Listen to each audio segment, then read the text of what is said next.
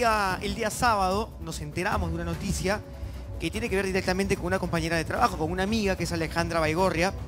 Eh, lamentablemente su mami sufrió un accidente, cosas que suelen pasar obviamente en el momento menos esperado, pero que terminó siendo un accidente bastante grave, muy complicado. Estamos conectados eh, con Alejandra Baigorria en este momento para que nos cuente un poquito más acerca de la salud de su mami. Ali, ¿cómo, Ale, ¿cómo estás? ¿Qué tal? Buenas noches. Oh, buenas noches, Jean Piero, Yasmín, ¿cómo están todos? ¿Qué tal? Bueno, yo. ¿Cómo está todo? Porque sabemos que el día, se, operó primero, tuvo una primera cirugía el día de ayer domingo y que hoy había una segunda cirugía, que creo que la más complicada, si no me equivoco. ¿Cómo salió todo? Eh, bueno, la verdad que Sí, tuvo una cirugía ayer de seis horas. Eh, el día de hoy iba a ser una cirugía más, la, más importante, pero lamentablemente se presentó otro problema. Hace unas horas me, comunicaron los doctores. Eh, justamente después del enlace voy a ir para allá, tengo que firmar unas cosas, porque ya mi mamá está siendo intervenida justo en estos momentos porque han encontrado ahora otra cosa que es este tema que también ha afectado la parte torácica y este y bueno, se ha complicado más las cosas y es una operación que se agrega antes de, todo, ¿no? Entonces... Hay que estabilizarla primero para buscar eh, eh, la otra cirugía que era tal vez no tan importante como esto último que han encontrado. Sí, lo que pasa es que, claro, ella está muy débil, eh, ha perdido mucha sangre porque hubo obviamente un, una hemorragia interna este, y la hemoglobina se le fue al suelo y ella está muy débil, pero a pesar de eso, mi mamá es una mujer súper fuerte y está luchando bastante, pero, pero bueno, son cosas que pasan y es difícil, pero hay que estar fuertes y, darle para adelante, ¿no? Yo confío mucho en, en que Dios sabe las cosas que van a pasar, ¿no? Sí. Definitivamente, nosotros esperamos que todo salga de la mejor manera y que tu mamita se pueda recuperar pronto, Ale. Se ha, se ha dicho mucho en los medios de comunicación durante, durante, desde esa oportunidad hasta este momento, se ha especulado bastante. ¿A ti te gustaría aclarar algo, explicar tal vez cómo sucedió? ¿O prefieres mantenerlo al margen y dentro de tu familia? No, porque es un tema que creo que le puede pasar a cualquier persona un tema realmente tonto, por así decirlo, porque fue una simple caída, un resbalón el día sábado. Eh, sí se han especulado que fue el domingo, que fue en toque de queda, no es así.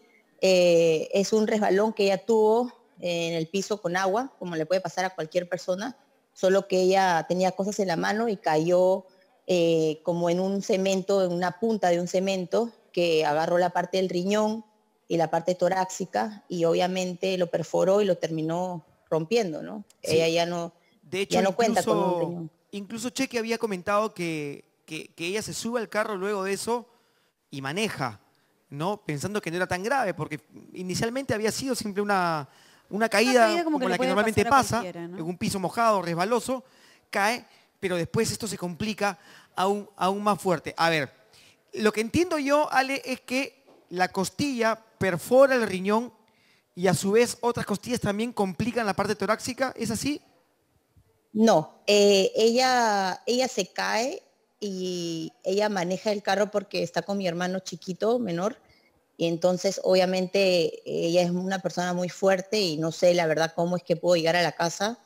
Eh, y obviamente para no asustar a, a, mis hermanitos que son más pequeños. Y, eh, lo que realmente pasó, al principio se especuló muchas cosas, se creían muchas cosas, pero no.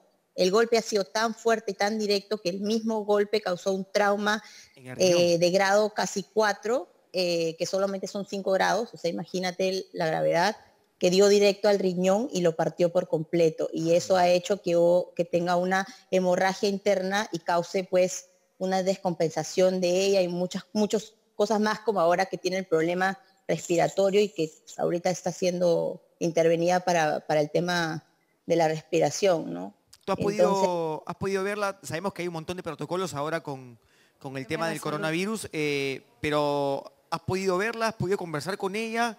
¿Cuál es el estado actual de tu, de tu mami?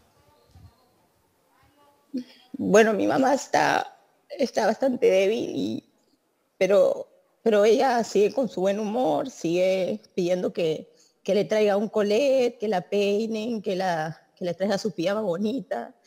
Ella, ella está luchando bastante, es una mujer muy fuerte, pero sí, lamentablemente son momentos difíciles y es increíble cómo una simple caída puede causar tantas cosas. Y, y bueno, son cosas, ¿no? Y encima yo sí estuve bastante tiempo separada de mi mamá por, por, por la pandemia. Yo prefería no, no verla a y mis hermanitos por el tema de que yo sí estoy de repente saliendo un poco más, ¿no? En el programa y eso, ellos estaban totalmente aislados. Entonces también ha sido difícil para mí todo esto, pero... Bueno, yo quería aprovechar porque... aprovechar en el buen sentido de la palabra, porque... Y se lo digo yo a mis hijos, por ejemplo, digo, hoy cuídense más que nunca, porque lamentablemente los hospitales están llenos, las clínicas están llenas. Yo quisiera que me cuentes cómo ha sido tu acceso a la salud en una situación donde normalmente las camas están ocupadas, donde la emergencia obviamente está eh, dispuesta, pero para otro tipo de situaciones. Entonces, ¿cómo ha sido todo esto? Enfrentarte a una realidad tan dura en un momento tan complicado, ¿no? La verdad que sí. Eh, mi mamá o sea, sufrió mucho al comienzo porque no pudo ser atendida de manera inmediata como en cualquier otro tipo de accidente en otro momento. Eh, y lamentablemente son cosas que, estamos pasando todo el mundo y que es difícil. Ella tuvo muchas horas eh, sangrando internamente y, no pudiendo respirar casi, esperando que, que la puedan atender, porque lamentablemente todos los hospitales están llenos y, es muy difícil, es muy difícil. Eh, todo es mucho más lento, todo es, es más complicado, eh, así que todo es más difícil, todo es más complicado, pero bueno, gracias a Dios este, la han podido estabilizar, pero sí, sí está muy débil y, están apareciendo cosas. Vamos a tener que esperar entonces, Alex, para saber cómo, cómo sale tu mami esta última operación. Esperemos que nosotros eh, vayamos recibiendo noticias durante, durante la tarde, durante la noche. Sabes que aquí todos están atentos, todos te mandan saludos, te mandan mucha fuerza para ti, para tu familia. Y esperemos que cuando las cosas pasen, porque seguramente van a pasar y tu mamita va a estar estable y va a estar contigo y van a estar bien y van a estar juntas, puedas reincorporarte a tu trabajo. Ahora sé que te tienes que ir volando para ver a tu mami, así que nosotros te dejamos para que puedas ir a atenderla. Ale, te mandamos un besote muy grande y tranquila porque tú sabes que Verónica es indestructible, así que creo que lo sabes tú y lo sabemos todos.